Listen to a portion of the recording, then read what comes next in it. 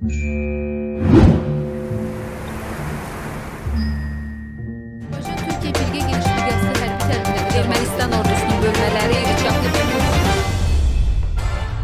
Bu gün Rusiya sülh məramları Qarabağda təlimlər keçiriblər. Rusiya Müdafiə Nazirliyindən verilən məlumata görə Xocalı hava limanında Mi-8 Terminator vertolyotu ilə ordu aviasiya pilotlarının, hərbi qulluqçularının və xüsusi təyinatlı dəstənin tibb mütəxəssislərinin iştirakı ilə hər cür vertolyota quraşdırmaq üçün hazırlanmış iki yerli tibbi modulu olan Mi-8 AMTŞ vertolyotu ilə yaralıların uzaq bölgədən təxliyəsi üzrə normativlər keçirilib. Xatırladaq ki, bu təlimlər 10 noyabr 2020-ci il üç tərəfli bəyannamənin Qarabağ ərazisində istifadə oluna biləcək hərbi texnikası ilə bağlı bəndini pozur. Belə ki, nəqliyyat hücum helikopterləri sülh məramlıların yerləşdiyi ərazidə hərbi texnika siyahısına daxil edilməyib.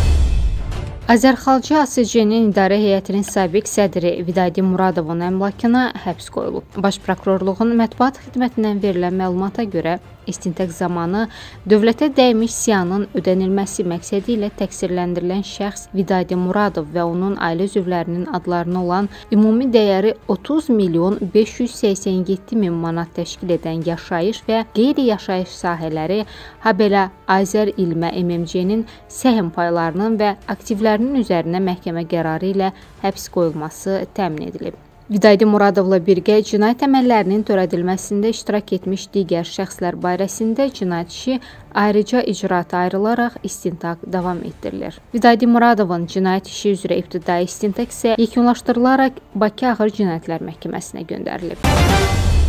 Şəkidə sabiq bələdiyyə sədri barəsində cinayət işi başlanılıb. Şəki rayon prokurorluğundan verilən məlumata görə araşdırmalarla müəyyən edilib ki, İncə bələdiyyəsinin sabiq sədri Qafqaz Musayev öz qulluq səlahiyyətlərindən sui-istifadə edərək bir neçə şəxsə kənd bələdiyyəsinin mülkiyyətində olan torpaq sahələrini mülkiyyət və icarələrinə verəcəyinə dair yalan vədlər verib və xeyli miqdarda pulları dələduzluq yolu ilə ələ keçirib. Eyni zamanda araşdırmalarla torpaq sahəsi ayrılan 7 nəfər şəxs tərəfindən bələdiyyə büdcəsinə ümumilikdə 2086 manat məbləğində pul ödənilsə də, həmin şəxslərə torpaq sahəsinin ayrılması ilə bağlı bələdiyyə iclasında qərar qəbul edilməməsi, eyni zamanda bələdiyyə büdcəsindən 2158 manat pulun mənimsənilməsi müəyyən edilib. Faktla bağlı Şəki rayon prokurorluğunda Cinayət Məcəlləsinin şəxs tərəfindən öz qulluq mövqeyindən istifadə etməklə təkrar xeyli miqdarda dələduzluq törədildikdə, şəxs tərəfindən öz qulluq mövqeyinə istifadə etməklə təkrar mənimsəmə törədildikdə və vəzifə səlahiyyətlərindən sui-istifadə maddələri ilə cinayət işi başladılıb. İran Xarici İşlər Nazirinin müavini Məhəmməd Kazim Səccadpur Bakıya gələcək. İranın Azərbaycandakı səfirliyindən verilən məlumata görə İran rəsmisinin Azərbaycana səfərinin əsas məqsədi Azərbaycan və Türkiyənin araşdırma mərkəzləri arasında keçirilən üç tərəfli görüşdə iştirak etməkdir. İran rəsmisinin Bakıya səfəri 3 günlük olacaq. Səccadpur elmi iclasda iştirak etməklə yanaşı Azərbaycanın bəzi rəsmiləri ilə də görüşəcək.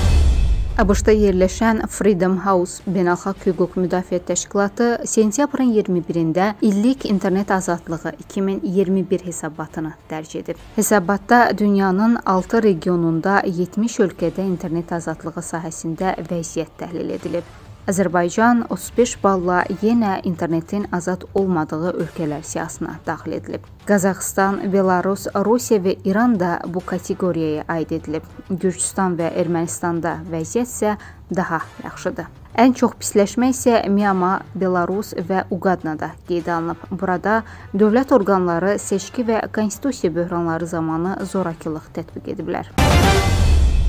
Amerika prezidenti Joseph Biden Ermənistanın müstəqilliyi münasibəti ilə baş nazir Nikol Paşinyana təbrik məktubu göndərib. Maraq doğuran Joseph Bidenin Paşinyana göndərdiyi təbrik məktubu deyil, təbrik məktubunun içərisində yazılan sözlərdir.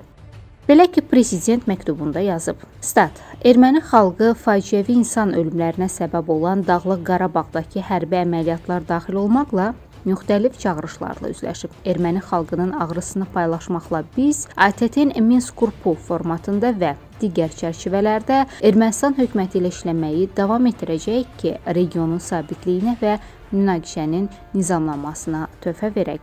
Joseph Biden eyni zamanda məktubunda Azərbaycanda saxlanılan erməni əsirləri mövzusuna da toxunub. Deyib ki, ABŞ Azərbaycanda saxlanılan erməni əsirlərin azadlığa buraxılması istiqamətində səylərini davam etdirəcək. Xatırladaq ki, Azərbaycanda saxlanılan erməni hərbi qulluqçuları Azərbaycan hökuməti terrorçu diversant adlandırır. Ermənistan isə onları hərbi əsir sayır və azadlığa buraxılmasını tələb edir.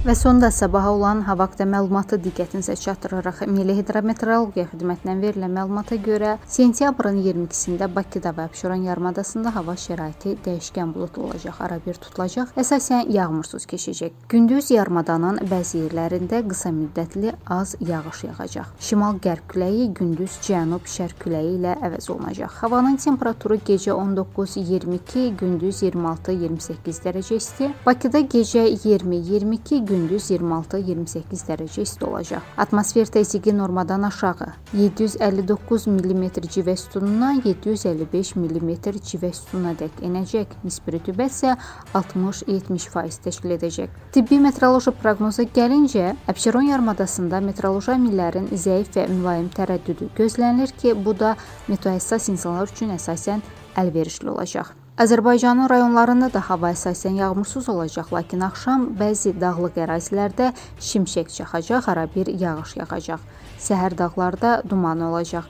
Şərq küləyi əsəcək. Havanın temperaturu gecə 16-21, gündüz 30-34 dərəcə isti, dağlarda gecə 11-16, gündüz 16-21 dərəcə isti olacaq.